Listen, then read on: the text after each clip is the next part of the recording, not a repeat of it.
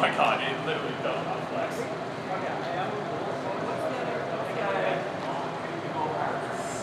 Yeah, exactly. oh. That's your fault.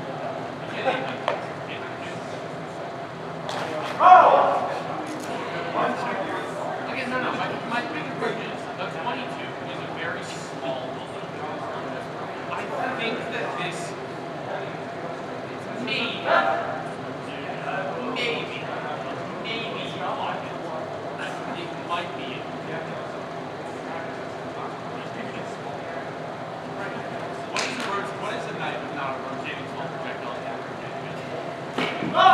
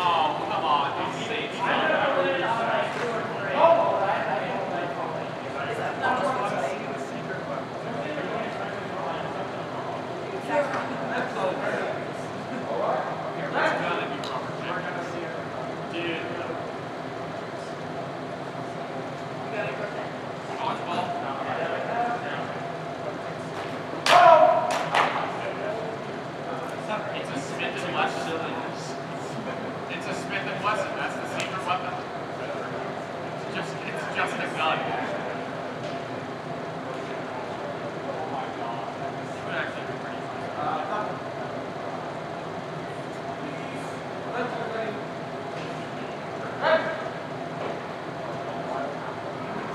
yet.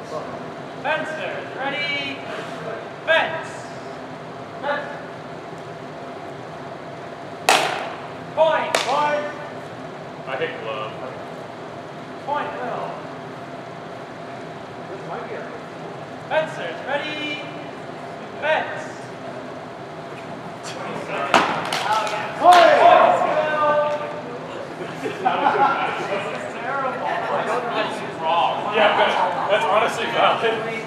Benson. Well, at least reverse break. Yeah. Yeah. yeah. Oh, God.